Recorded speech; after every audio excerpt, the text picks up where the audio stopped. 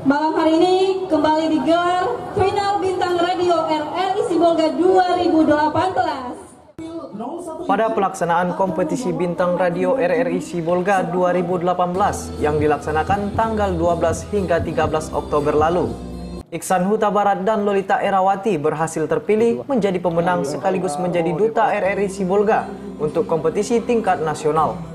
Otani Gogea selaku Ketua Panitia Bintang Radio RRI Sibolga mengatakan bahwa Iksan dan Lolita selanjutnya akan diberikan pembekalan dengan pelatihan khusus untuk persiapan menghadapi kompetisi tingkat nasional di Jakarta pada November mendatang.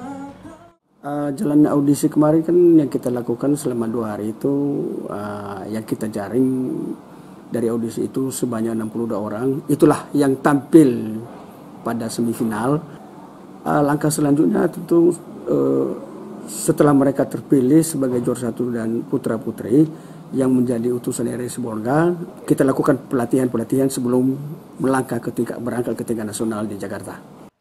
Otanigo juga berharap semoga duta RRI Sibolga tahun ini mampu meraih juara di tingkat nasional agar kemenangan yang mereka capai dapat mengharumkan nama kota Sibolga nantinya.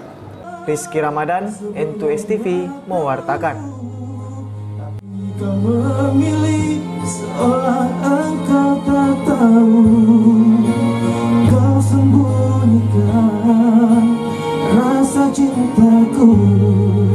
Di balik topeng persahabatanmu yang palsu Kau jadikan aku kekasih bayangan Untuk menemani